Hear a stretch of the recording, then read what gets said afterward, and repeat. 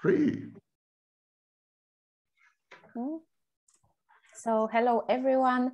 We've got a special guest today, second time, surprise, surprise. So it's a professor of psychology, Southern Federal University, Rostov-on-Don in Russia, and of course the author of Malignant Self-Love Narcissism Revisited. Welcome, Sam. Thank you for having me a second time. You're a very brave woman. I um, I just have to mention by my contract, I'm sorry, I have to mention that I'm a professor of finance and professor of psychology in the outreach program of the CIAS Consortium of Universities, CIAP's Center for International Advanced Professional Studies. I have a contract that says that I have to say in every video. And whenever I don't say it, they complain. And so I don't want any trouble with them. Apologies. We don't either. So uh... yeah, yeah, you, you don't want any trouble with them, believe me. they are Amer Americans. Yes. You don't want any trouble. Yeah. okay, so welcome. Welcome then. So today uh, I would love to speak with you about um, parentification, parentified children, um, how is it affect us uh, and uh, yeah, the main topic uh, around this and why it's so important and so crucial for our development. So um, yeah, uh, so maybe we can start um, to speak about what is this for our viewers or listeners that they can see uh, if they experience this or you know so the problem is much bigger now because people don't grow up mm. adolescence used to be defined as the years between 10 and 18 and then adolescence now is defined as the period between 10 and 25 years. Adolescence also starts three years later than in the 1980s and ends mm-hmm. three to four years later than in the 1980s. Well over one third of uh, uh, people under the age of 35 live with their parents. In many countries, it's 50%. 50% of people under age 35 live with their parents. 31% mm-hmm. of people, 31% of adults are lifelong singles. Marriage rate had collapsed by 50% between 1990 and today, etc., etc. So what I'm trying to say, uh, people people take a, fewer driving licenses, and even mm-hmm. consumption of condoms is down four to five percent a year. What I'm trying to say is people don't grow up. People remain adolescents and they sometimes remain adolescents for life. They remain adolescents, and yet they have children because there's no license needed to be a parent. You need a license to drive a car, you need a license to drive a motorcycle, you need a license for everything except the most important thing in life being a parent. There, you don't need a license. So, so, the, so these people who are still mentally adolescent, they have children. And so they don't know how to raise the children. And then we have mm-hmm. the phenomenon of parentifying. Mm. I think the word parentifying is not good enough. I think the word should have been adultifying. Mm. Parentifying implies that a child is required to perform parental chores, parental roles. In other words, a child is expected to behave as a parent would. But we have a much bigger problem. Children are expected to behave as adults do because there are no adults left. No one is adult. Mm-hmm. So children are expected to behave as adults, and that's why I suggest the term adultifying. Mm-hmm. At any rate, parentifying is when a child is forced. That is important to understand. It's a coercive, coercive situation. No child wants to be a parent. No child wants to be an adult. So when a child is forced by his caregivers, by people who are supposed to take care of him or her, people like mother, father, grandparents, teachers, role models, when a child is forced by caregivers to behave as an adult, to behave in what we call developmentally inappropriate role, when a child, for example, has to act as a surrogate parent to his siblings. Mother and father don't function, so the child has to raise, raise his brothers and sisters. That's what happened to me. I had to raise my three brothers and one sister because both my parents were mentally ill and unable to function. So I raised them. I was a parent before, before I reached the age of nine. And I continued, before I reached the age of, of, of five, and I continued to the age of 16. So that's a form of parentification. Another form of parentification is when you have when you have to become the referee, the judge, the arbiter between two parents who are fighting. Two so like a, sorry. Oh, please go ahead. No, like a buffer, something like that, the, the rule for the child. Yes, it's like the two parents are fighting, and then each one of them wants the child to support his position or her position against the other parent. And the child has to make peace. So the child becomes a peacemaker. He's always trying to find the middle ground, always trying to find a compromise, always trying to calm down everyone, and so on. The next role is the, um, as a caregiver. The child becomes a caregiver mentally or physically to, to the parent. So the parent, for example, can be physically disabled or mentally disabled, and the child has to take care of mommy because she is an alcoholic or because she is uh, mental, uh, physically disabled or for some other reason. She's depressed, depressive, and so never leaves bed. She stays in bed all day. So the child comes back from school and he has to take care of mommy. And he has to take care of mommy or daddy as a parent. He has to parent his parents. And that's why we call it parentification. Andre Green, who was a psychoanalyst, wrote, coined in 1978, he coined the phrase dead mother. But of course, you can say dead parent. It's a parent who is absent, a parent who is emotionally absent or physically absent, a parent who is depressed, self centered, narcissistic, uh, dysempathic, has no empathy for the child, capricious, a parent who is dangerous, a parent who instrumentalizes the child, uses the child as some kind of tool, um, a parent who is abusive. All these parents, these types of parents, they're dead parents. Psychodynamically, the child perceives these parents as non-existent. In every possible clinical sense, this child is an orphan. He is a virtual orphan. And so he, he copes as an orphan. And that raises another very interesting problem, and I call it self-parentifying. But I answered the first question, so if you want, I can. If you want, I can talk about self-parentifying. I just don't want to monopolize the conversation. No, it's fine. I just want to uh, maybe add that uh, I know uh, also parentification because um, I was a parentified child, but uh, in the other way not to uh, be a parent for my parents because i didn't uh, know my father. So i was raised by other people mostly um, but i didn't share with uh, viewers on my channel about that. So um, like my parents they were absent for three three first years years in my life. So uh, i was raising by others just from my family or for nanny uh, so um, yeah, the problem uh, with me and uh, with parentification in my case was what you wrote in your last post that I want to uh, quote your your words um, that you that you wrote. Um, it's a case that the child is parentified, but what can happen also? Um, they they force to parent itself by um, internalizing his parents like disorders like dysfunctions uh, attachment styles uh, trauma bonds and so on. So as an adult uh, they just result their sense of self-worth by caring for others.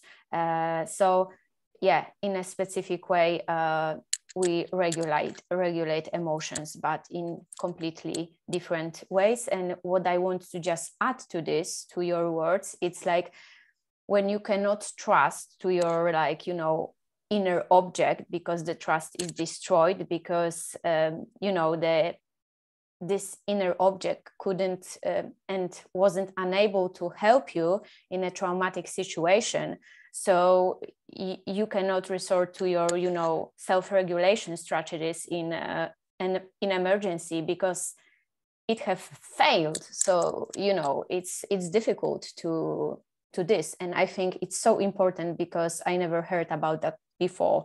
Uh, so i would like to if you can say something more about that.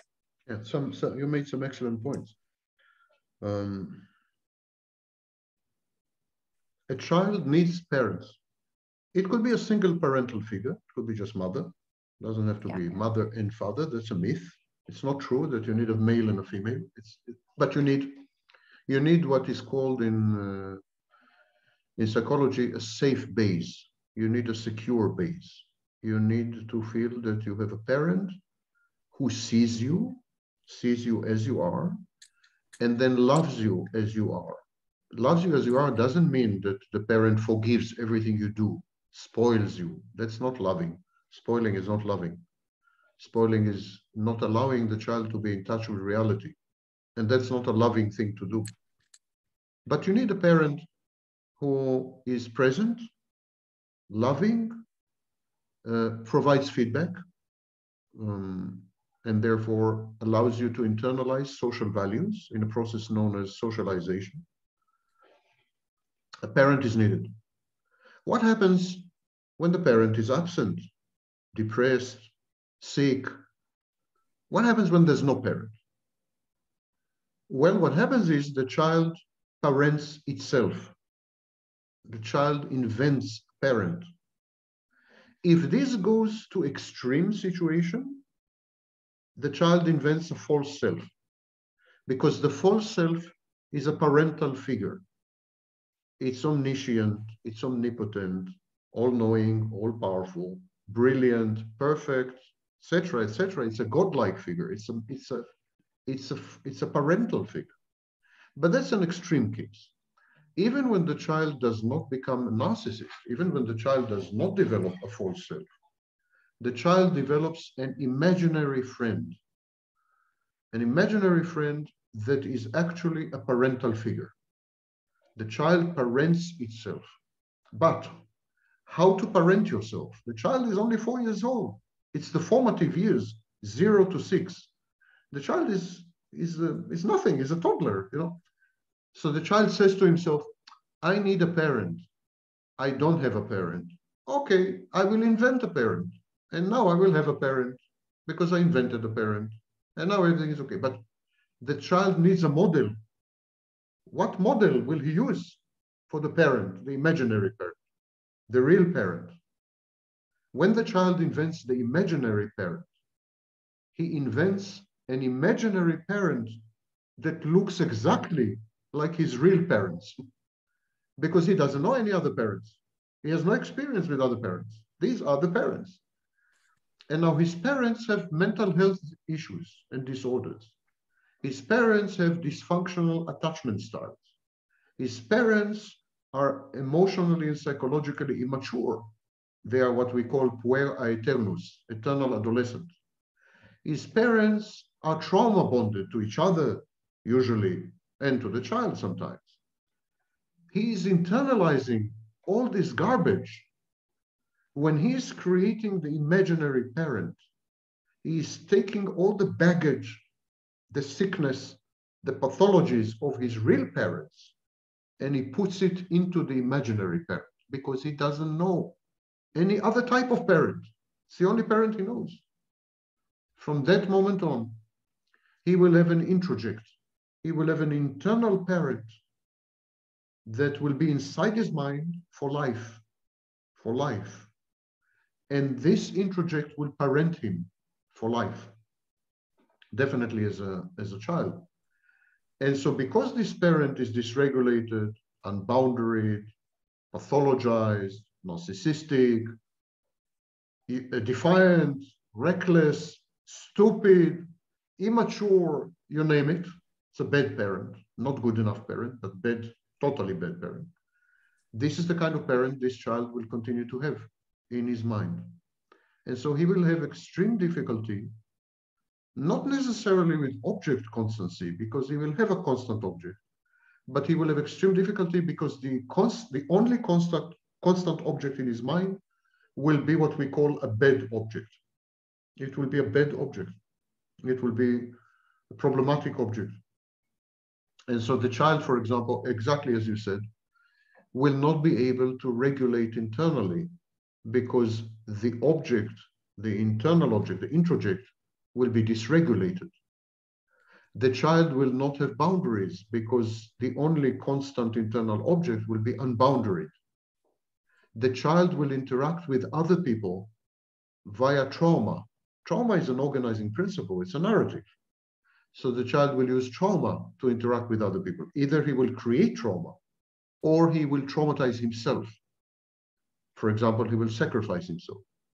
The mm-hmm. child, the child's sense of self-worth, the child's sense of self-worth will depend critically on other people, on caring for other people. The child will feel worthless if he doesn't care for someone. He, he has a need, a compulsive need to be needed. He needs to be needed.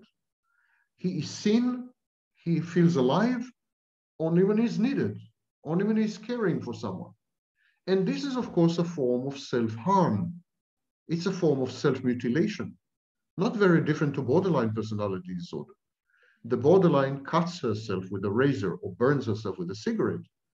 This parentified child harms himself by self-sacrificing in order to care for other people.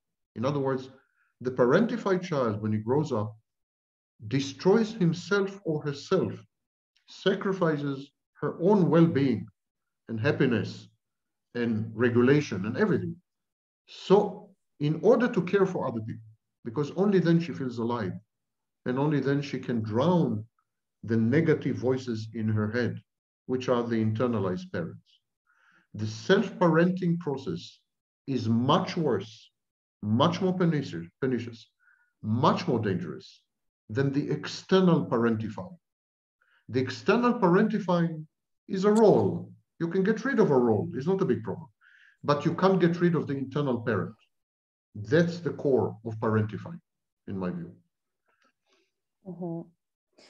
Yes, I I agree, and um, and then when you even spoke about that on you know told about um, this internal parentified issue then i realized when i was working on my own therapy that's why i was struggle with so many like uh, things uh, like I, I want to ask it a little bit um, later but uh, yeah it has a lots of uh, consequences and uh, also it's really challenge for for psyche uh, external and internal body like you can like you said already uh, we can remove the role but it's uh, a lot of um, more complicated when it's inside.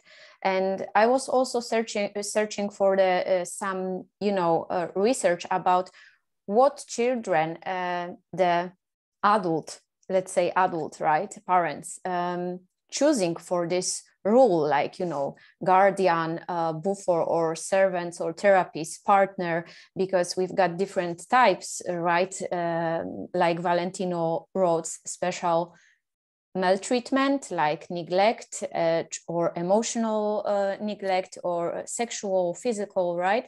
So and i discovered that it's like when it's like one child or the eldest one or the oldest or the most sensitive child and uh, yeah and for me it just uh, make more sense what was going on that inside uh, in a caregivers is just a child it's much much worse than this actually if you want to go a bit deeper um, it's much worse than this um, mm. the initial relationship between a child and a parent was mm-hmm.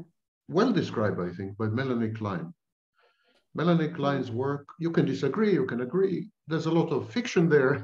she was very creative, imaginary, imaginative person, but some things she got definitely right. You, anyone who works with children knows. I raised my brothers and sisters, and I saw it. I saw it in action. I know she's right.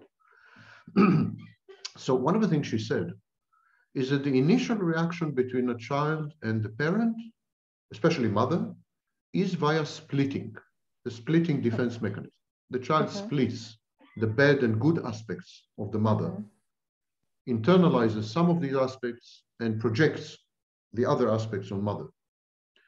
If you have an internal parent, you don't have a real external parent, but you create an imaginary internal parent, you're going to split yourself. The splitting is internalized. The minute the splitting is internalized, you become the bad object because mommy can never be a bad object. Mommy is always a good object. It's life threatening, life threatening to think of mother as a bad object. Imagine that you think your mother wants you dead. That's very frightening. You would never think that. You would think that something's wrong with you as a child. The child never thinks, mommy is bad, mommy is frustrating me, mommy is evil. He never thinks this way. The child thinks, what did I do wrong? What did I do wrong? So when you when the parentified child internalizes the splitting because he has an internal parent, he splits the internal parent. He becomes 100% the bad object. From that moment, there are behavioral and, and um, affect, affective implications. For example, parentified ch children can never have fun, can never have fun. They can never they can never indulge themselves. They can never buy themselves a gift. They can never love themselves. They can never throw themselves a party. They can never, you know, they feel guilty. They feel guilty because they are bad. They are bad, unworthy objects. There is internal splitting at work. Now, as healthy people, people who were not parentified as children, the splitting stops after some time. But when you have an internal parent introject, the splitting never ever stops. You don't have to be, you don't have to have a personality disorder. You don't have to be, you can be totally healthy person otherwise. But there is internal splitting going on all the time as a background process. So you cannot love yourself, indulge yourself. You have to be self-reliant. You can't rely on other people because they're not reliable. You trust no one. You always get involved in conflicts as an arbiter, a peacemaker, or a therapist. It's, it's the role of a peacemaker. You restore inner peace to people, you know, or between people. So the child, the parentified child perceives himself as a sinner, someone who committed a sin, and now he has to redeem himself. He has to work hard to be good again. He is bad. He has to become good again. And he has to become good again by healing people, taking care of people, um, catering to the needs of people. And he has to sacrifice himself because he's bad. He has to sacrifice himself. And he never can never gratify himself or love himself because he's bad. And if he, he loves himself or gratifies himself or herself, then it's another sin because you should never do this with bad people. Bad people should be punished, not gratified.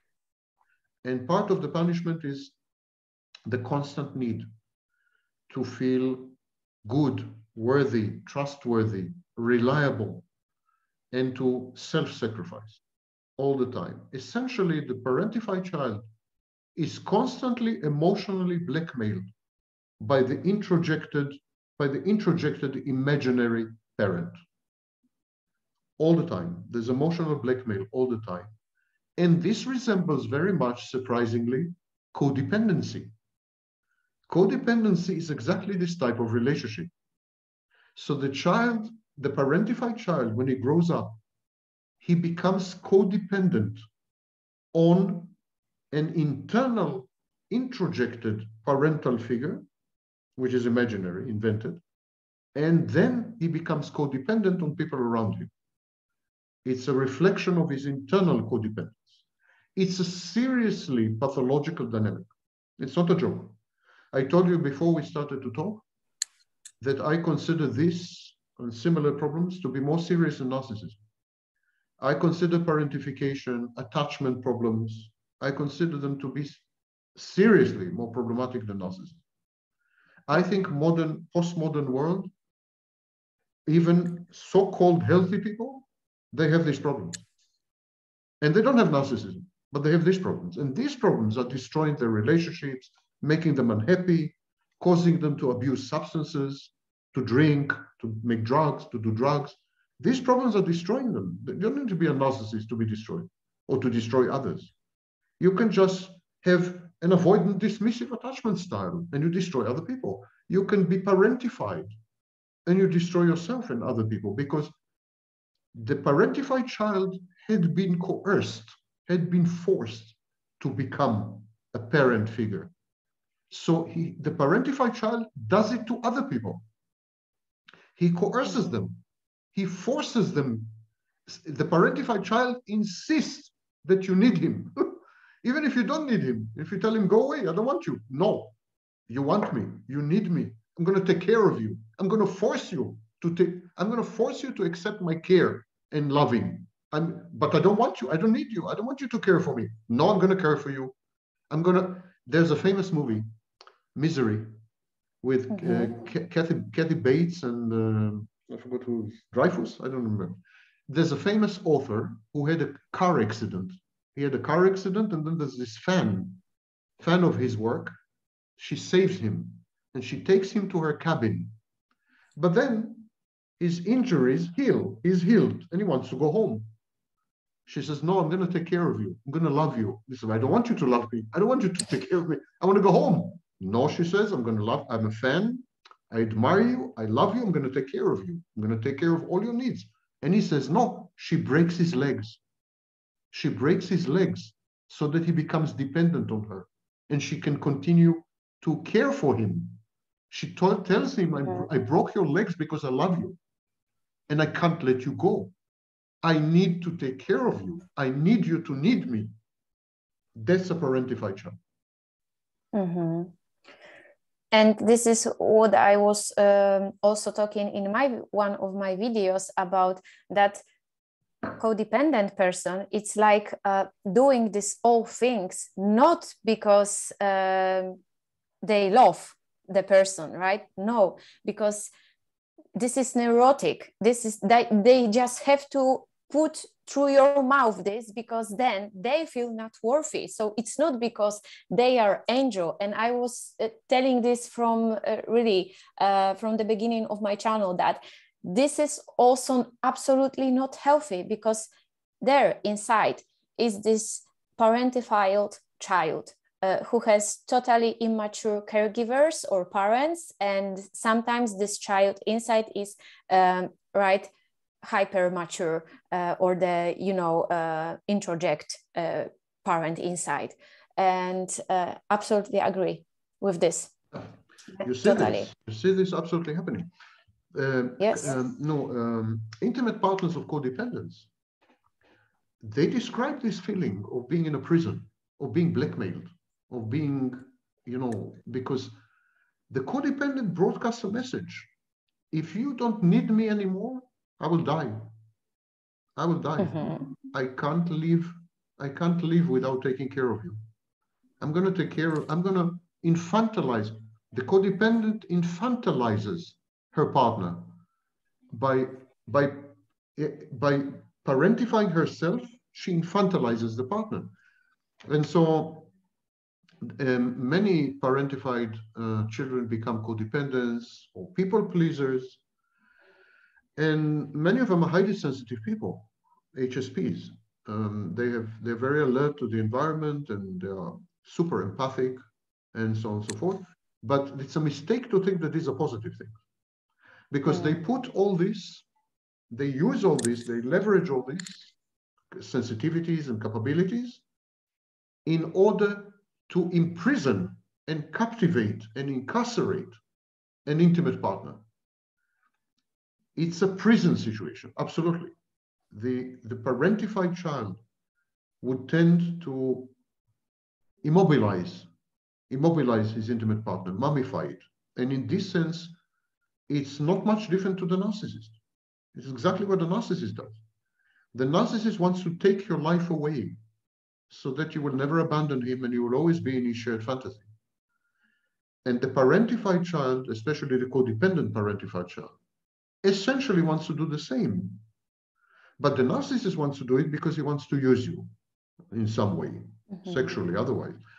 The codependent does it because he needs you to be there so that he can care, take care of you.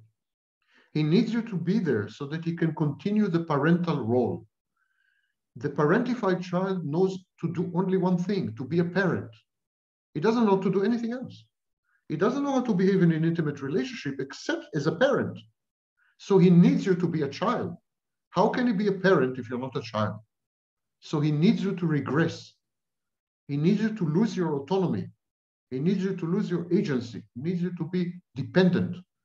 He wants you to be dependent because he needs to become the parent because he doesn't know any other way. And there are other similarities between parentified children and and, uh, and codependence, and um, I'm sorry, and uh, borderlines and similar mm-hmm. pathologies, cluster B pathologies. For example, um, they have this perception that they are not um, not fully appreciated, not fully. They have this uh, what what you wrote to me yesterday, imposter syndrome yeah. So they know as children, they know that they are not parents. They are just playing at being parents. They're acting parents. They know that the parental intro- introject is an imaginary parent. Even as four years old, they perceive this. So there is a constant feeling that they are acting. All the time they feel like they're acting. It's not mm-hmm. real. It's a theater. It's a kind of theater production. It's not real. They don't have a sense of reality they're totally derealized. There's severe dissociative effect of derealization. And so consequently, they feel either they feel like they are imposters, they're pretending, they're fake, they're fake, or they feel that they are not appropriately um, um, evaluated, appropriately uh, appreciated. So they become very passive aggressive. Even they become covert narcissists, or they become so-called empaths. they become extremely, extremely aggressive. And like borderlines exactly, they engage in compensatory behaviors. And these behaviors are not calibrated, they're not proportional. So, for example, many parentified children can suddenly become recklessly promiscuous or abuse substances. And, and the reason is that there is no regulation, exactly as you said at the beginning. There's no internal regulation and they engage in these compensatory behaviors, exactly like borderline. So we see a lot of similarity between parentified children and several mental health disorders, dependent personality disorder, narcissistic personality disorder, borderline personality disorder. Absolutely. And it's not by coincidence that many, many narcissists and borderlines were parentified children. They started life as parentified children. They didn't have proper parenting. So it's not a minor phenomenon. It's a major, major mental health issue. Mm-hmm. I'm really glad that you um, mentioned about that. That these uh, hypersensitive uh, people, uh, like you know, it's not like a um, plus or something like that. And sometimes I've got this feeling that people thinking that I, I'm a highly sensitive person and it's like, but then I can see what they cannot see, uh, you know, the tragedy, tragedy, tragedy behind this, right? So um, this is um, what is showing to survive emotionally. A child really needs to set up a care system for for a caregivers and later for a partner uh, instead of receiving it. And uh, I think yeah this is what you said already and it's not healthy at all they feel so, threatened when you love when you love the parentified child the parentified child grows up and you let's say you mm-hmm. become intimate with the parentified child when you try to love the parentified child become adult when you try mm-hmm. to care they feel threatened because it's like you're telling them mm-hmm. you're no longer needed as parents Mm-hmm. I'm going to love you. I'm going to love you. I'm going to take care of you. I'm going to cater to your needs. And they feel they're no mm-hmm. longer needed and you're about to abandon them. Parentified child interprets love being loved uh, as abandonment. So they're going to react very strangely to being loved. The, the minute you try to love a parentified child who had become an adult, he's going to walk away because he, is going to feel that you're about to abandon him. And there is this issue of hypervigilance. Children without properly functioning parents, they develop a radar. They, they read the parent all the time. They try to read the parent. They try to see what is she going, what is mommy going to do? What is daddy going to? So they're hypervigilant. They all the time they scan, they scan the parental figures because they're terrified. They're simply scared. And they scan the parental figures. So they become hypervigilant. But and they continue this all life. They constantly scan people around them. And they scan them and they say, oh, what, what do they need? How can I care for them? What are they going to do? And so there's this scanning. But on the other hand, when the child creates a parental introject, an imaginary parent, the child attributes to the imaginary parent powers and capabilities that the child does not have. Because don't forget that, I mean, I don't need to, to tell you that until a certain age, the child regards the parents as gods, as gods. They're mm-hmm. omnipotent, they can never fail, they never make mistakes. So when the child tries to create an, in, an internal parent, an imaginary parent, he creates a god. It's a private religion. He creates a god. Mm-hmm. But this god is the child. So this creates a dissonance. On the one hand, the child knows that he's not godlike. He realizes his limitations. But on the other hand, part of him is godlike. So this creates enormous dissonances in parentified children when they grow up because they have this grandiose assumption that they know what you need better than you that mm-hmm. they can they can tell they can read your emotions better than you they mm-hmm. can take care of your needs before you know what you need. They, mm-hmm. in other words, they are kind of they have supernatural abilities, and this is why you have this phenomena like empaths, and uh, because they attribute to themselves the power, the supernatural, but the paranormal power, to read other people's minds and to anticipate in advance what these people may require. This is, of course, a form of magical thinking. When the child invents an internal imaginary parent, the child engages in maximal magical thinking, and it never leaves him, and he, her or her. Child stays this way for life. And so, a typical parentified child, if you get married to a typical parentified child, for example, he's going to be all over you all the time and he's going to tell you what you need and what you want and what you wish. And he's going to tell you what your priorities are. And you're going to say, no, you're wrong. And he's going to say, no, just don't know it. You don't, just don't know it yet. Mm-hmm. And so this gives rise, for example, in very extreme cases, to what we call erotoma- erotomania. Erotomania is a form of stalking where the erotomaniac stalker believes that he has access to the mind of his love object. So he, he the, the stalker can come to a woman and say, You're in love with me, you just don't know it. Mm-hmm. You just don't know it yet. But I know it. You're in love with me. It's a very dangerous situation. In mm-hmm. extreme cases, this can take this can lead to aggressive and violent action, you know. So there is this magical thinking coupled, coupled with hypervigilance which render the parentified child the perfect parent, the godlike parent. So what I'm trying to say is that the child doesn't create a realistic imaginary parent. Mm-hmm. He creates an idealized, godlike imaginary parent, which is a huge obstacle in life after that, afterwards. Mm-hmm. Yes, I, I totally agree um, what you said. And that's why I would like to ask you another question. Uh, you you mentioned uh, a little bit uh, about that. How does that this uh, affect us? What are we struggling with uh, in adult um, after when we are um, parentified? child?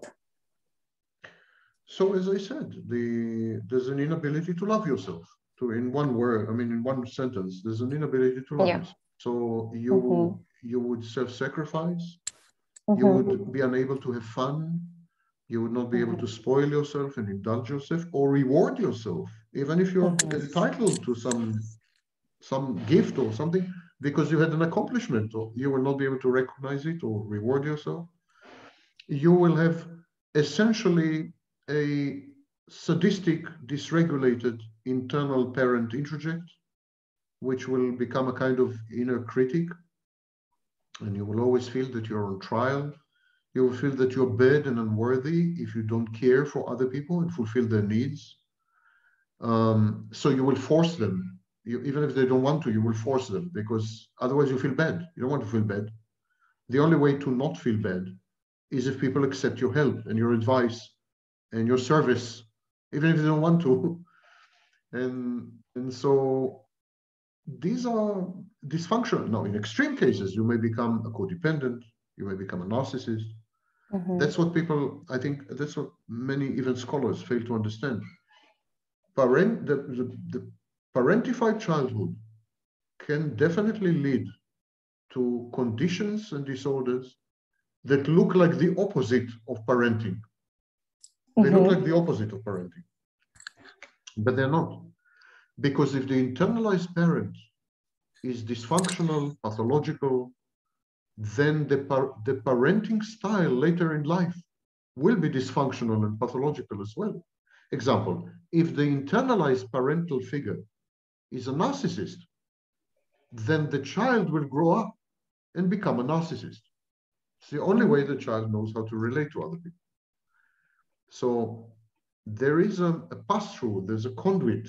It's like the pathology passes through the, the parentified child and continues. Parentified child will treat his own children the way he had been treated as a child. So he will actually force his children to parentify as well.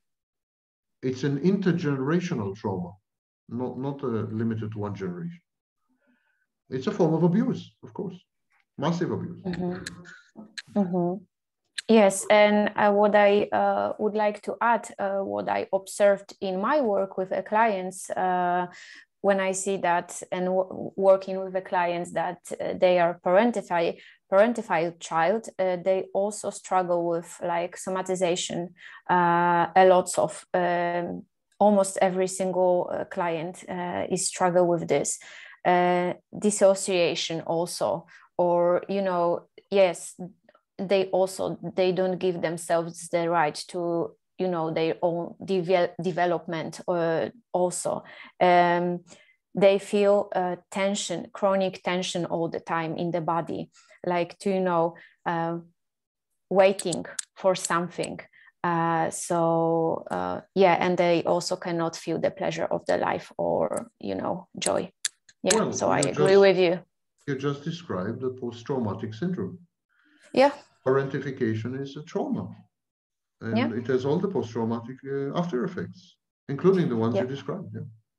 Yeah, CPTSD, absolutely. So um, the the last questions that I have for you, it's like, uh, what can we say to our viewers? How we can, how they can work with day therapist, or what can they do uh, when they uh, listening this and they find out this is probably about me like you know what what can we uh, tell them there are two core issues that need to be tackled the good news is that these issues uh, we know how i mean in, in psychotherapy we know how to tackle them in a variety of treatment modalities not only one yes. we know how to tackle them and we're pretty su- successful with both issues unlike for example narcissism which which is pretty hopeless but this is not hopeless. Yes.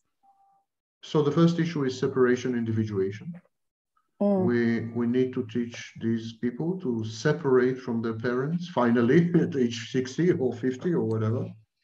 And to yes. become to become full-fledged individuals, to expel, I call it to expel the, the parental introject. Yeah. Mm-hmm. This can be done and is frequently done in therapy. And the second thing is to develop self-love, not narcissism self-love. Mm-hmm. Self-love is, mm-hmm. is, is a healthy thing. I have a whole video dedicated to it. What yes. is self-love, defining self-love and so on. So given these two, uh, a process of separa- separating from the bed, from the dysfunctional parent, and becoming an individual without the parental introject, and then learning to love that individual, learning to love this core, this new core, in a fu- in a functional, healthy way, not as not narcissistically. Um, that generally is is the path of treatment, and both things again. The optimistic message is both things are I I would even call them routine. It's what we do in therapy. You know, we we may allow people to mature and to grow up. We we play sometimes the parental figure ourselves as, as therapists. It's called trans, transference. And we allow people to, to grow up and so on. And then we teach them how to accept themselves and via self-acceptance, how to love themselves and how to treat themselves a lot more nicely than they had been treated before because parentified children tend to perpetuate the abuse, like all abuse victims. They continue the abuse. The internal voices of the abuser are inside their minds as introjects. And so the abuse continues long after the abuser had gone. And so we teach them to stop abusing themselves, to stop it, just stop it and simply love themselves finally. And if necessary, by repeating certain actions ritually and without understanding what they're doing. They don't always need to understand. Insight is overrated. Sometimes action, including somatic action, can lead to very positive results without full understanding what is happening, you know. Yeah, so when I work with depressive people, for example, I tell them you must get out of bed and you must go to the sea and you must swim and they ask me why, what's the connection? What I said, you don't don't ask, just get up and go to swim. That's all. So mm-hmm. same with parentified, former parentified children. Sometimes they just need to act. So they need to go to the nearest shopping mall and buy the most expensive bag they can find. That's a great form of therapy. Mm. And they need to put boundaries as to how much they care for other people and how much they cater to the needs of other people. And that includes uh, formerly parentified children who had become therapists. Not only, you know, so boundaries, yeah. boundaries are very important. So they need to say no, to learn to say no. And they need they need to learn to not feel bad and unworthy because they had said no, because they had placed a boundary. They need to learn not to pay the emotional price of setting a boundary, etc., etc. Everything I'm saying is pretty routine and well known. It's, there's nothing new there. It's, there are dozens of techniques on how to accomplish each and every one of these things. So the good news is if, if the person with, who had been parentified did not develop personality pathology, then the likelihood of recovery is very high. When there are personality pathologies, we're a bit more in trouble we're a bit more in trouble. When there are addictions involved, we are also a bit more in trouble because these are intractable problems. They're very difficult to treat. But if the only problem is that you're a people pleaser and you tend to sac sacrifice yourself to take care of the needs of your children or your husband or whatever, that's it will be okay. The, the prognosis is good. Mm -hmm. I would just uh, love to add to this, uh, finish the process, of course, of separation, individuation, really crucial, I think, uh, for uh, all of us, absolutely. Mm, develop also the self-regulation. And as you said, uh, we don't have to understand to accept and doing the thing. I, I totally agree.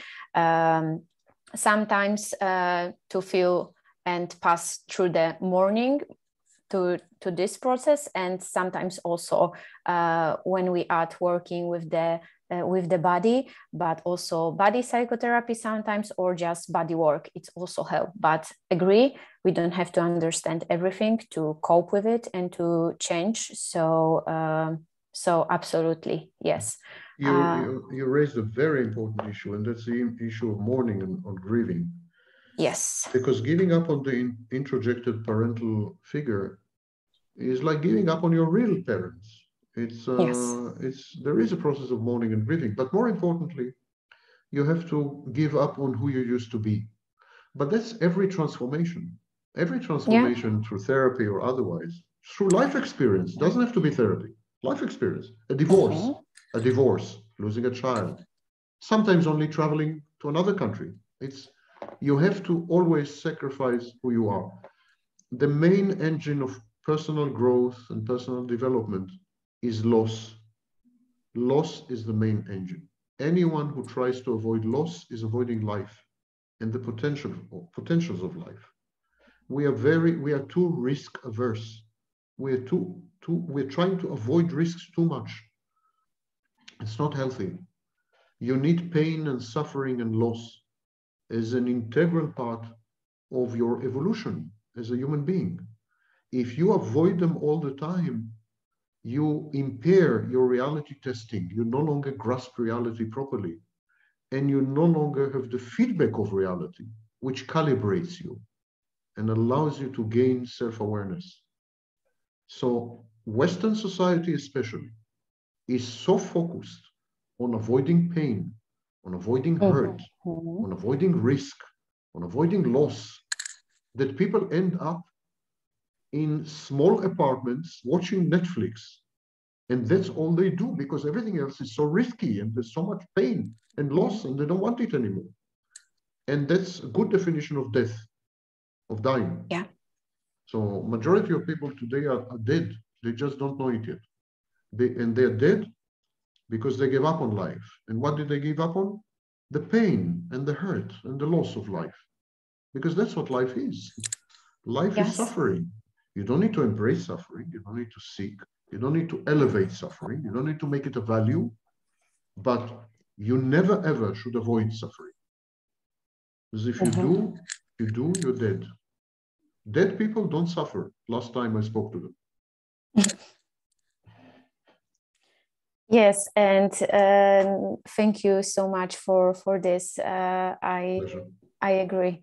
Thank you, Sam, for sharing your uh, knowledge and wisdom with with us.